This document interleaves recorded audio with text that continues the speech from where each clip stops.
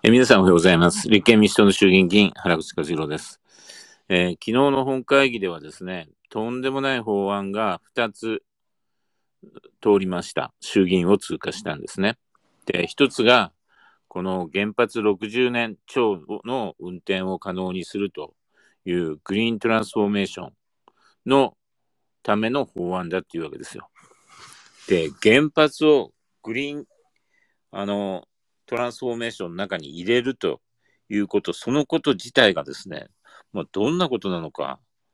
よく考えた方がいいですね。東京電力福島第一原発事故のこの教訓っていうのはもう完璧に忘れ去られたんじゃないかって思います。これ、再稼働もですね、今のような形でやれるようになると。で、本来だったらですね、原発を事業者のそのバランスシートから外して、そして廃炉に持っていくと。今、まさに破壊措置準備命令が出てるわけですね。衛星が落っこってくるかもわかんないって言って、事前に北朝鮮の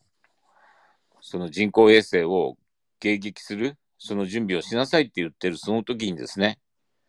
60年を超える原発も、あのー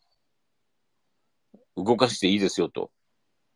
それ、何を考えてるんですかと。東京電力福島第一原発事故の時の、あの時、何が起きたかと。結局安全神話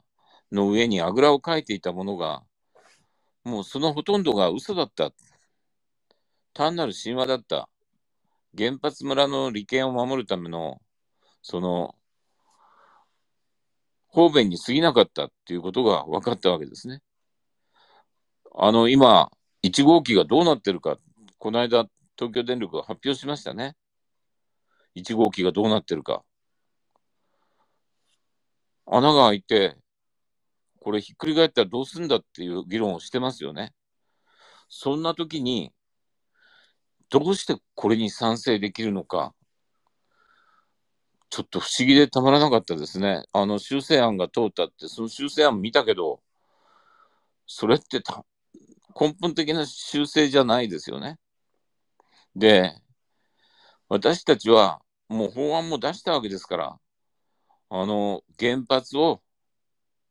ゼロにするために、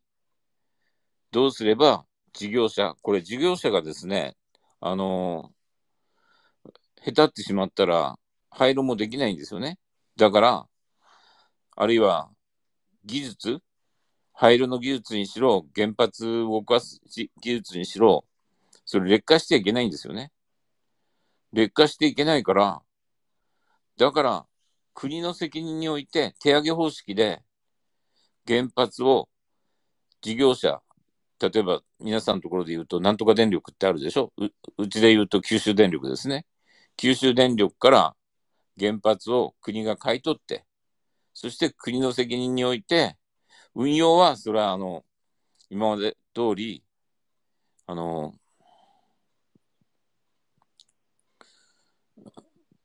事業者にお願いをしなきゃいけませんね。だって運用のノウハウって他に持ってるとこないわけだから。だけど、そのものはもう、例えば宮殿だったら宮殿もしそれがいいって言えばですよ。手を挙げて、それがいいって言えば、宮殿のものから国のものにして、そして何年という形でもう止めていくわけですよ。で、それを止めていかないと、どんどんどんどんその核のゴミですね、溜まり続けるばっかりで、それは私たちにとってはグリーンどころか、グリーンどころか未来へのツケになってしまうわけだから。で、これぜひ参議院の皆さん、止めてください。止めてください。もう一個、あのー出てきたのはですね、いわゆるあの、マイナンバー法ですよ。あれだけ言ったのに、これ、本気でやるのかな？やっちゃダメだと思いますね。あの、この2つの法案について、また、あの、後ほど詳しく説明をしたいと思いますが、まずは、あの、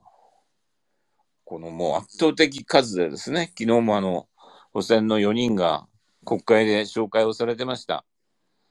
やっぱり負けるっていうのはこういうことなんだっていうことをですね、つくづく思いますし、あただ、あの、昨日は、まあ、私が尊敬する、ある、あの、あるって言ってももうわかると思いますから、森山国対委員長ですね、今はあの選対委員長、自民党されてますけども、大変なあの、永年金属表彰なんですね。25年の表彰ということで、あの、すごくいい、あの、お話をされました。まあそういう、一人一人は立派な方がおられるのに、なんでまとまるとこんな風になるのか、ちょっとようわからんですね。あの、参議院、ぜひ、これ、廃案に、衆議院も随分頑張りましたけども、もう数の力、圧倒的足りないんで、力不足でした。あの、お詫びをしてですね、参議院にお願いし、国民の皆さんにお願いしたいと思います。えー、もういろんなことが起きてるんで、なんとかな、こういうの一気に詰め込んで通してくるんですよね。負けちゃいかんということを申し上げて、えー、今日の2番目のスペースを終えたいと思います。それじゃあ、ごきげんよう。